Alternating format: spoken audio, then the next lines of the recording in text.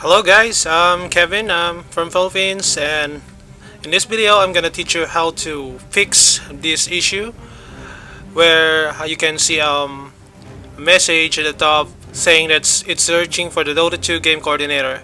So all you have to do in this um, when this occur, um, go to learn besides watch here and then you're gonna click the start button with the Luna icon.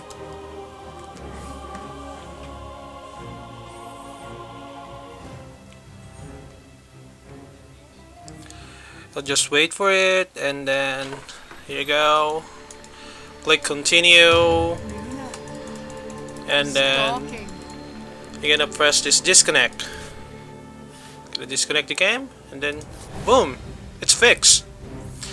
Um, sometimes it's not gonna work once, just um, try it again and again. Uh, and I hope uh, this video helped you guys out and enjoy playing Dota.